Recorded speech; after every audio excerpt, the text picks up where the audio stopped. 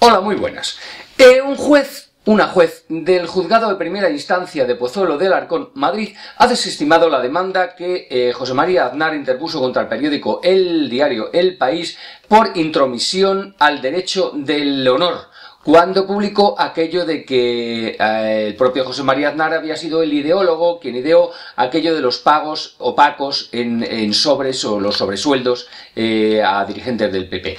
El juez, o la juez, en este caso, ha desestimado la, denuncia y le ha, eh, le ha sentenciado a pagar las costas de, aquel juicio.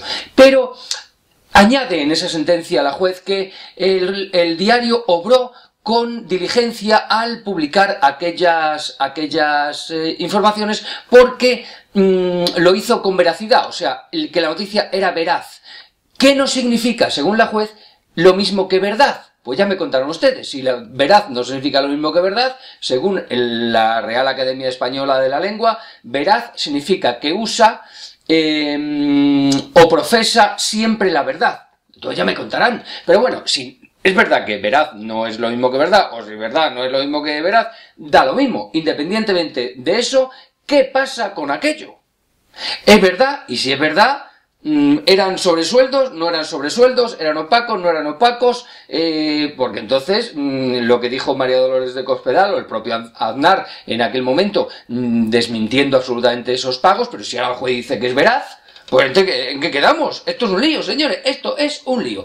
Em, Además, eh, yo te digo una cosa, en los partidos, en este caso el Partido Popular, ya que estamos hablando de él, eh, deberían eh, preocuparse por qué pasa con, con, estos partidos, otros partidos que se están haciendo un hueco entre el bipartidismo, entre el, PSOE, entre el PSOE y el Partido Popular y tal, antisistema, ¿no? Pues a lo mejor es que no son antisistema, a lo mejor es que la gente está ya un poquito harta de que ese sistema se haya utilizado mal, como por ejemplo en estos casos, el caso Bárcenas, porque todo esto eh, ya no nos acordamos de Bárcenas, pero todo esto viene de Bárcenas y no nos acordamos de otras muchísimas cosas, como por ejemplo la Gürtel. Yo, eh, ah, los seres también, los seres también, pero siguen ahí, pero ya no nos acordamos de ello.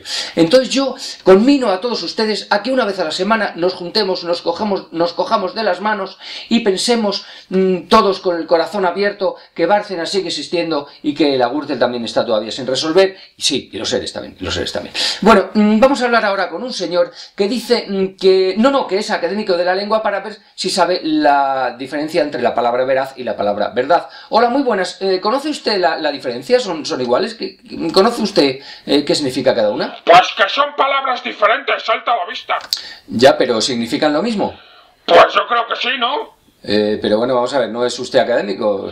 La ciencia cierta, pues... Eh, eh, pero usted es académico, ¿no? Sí, y Ana Obregón es bióloga y Camps es abogado. Ya, pues la verdad es que tiene razón, pero vamos, que no lo sabe, ¿no? Pues no, y ahora déjeme que me voy al bingo con unos amigos, que vemos todos los días. Bueno, pues nada, muchísimas gracias, y a mí ya no me queda nada más que decir adiós, pero para ello antes quiero despedirme. Y lo haré dedicando una bella melodía, que yo la cantaré muy mal, por cientos, a José María Aznar, que, bueno, pues ha tenido la mala suerte de que le han desestimado la denuncia. Y dice así. No hagas caso de la gente que critica porque sé, porque esa mismita gente, porque esa mismita gente luego te critica a ti.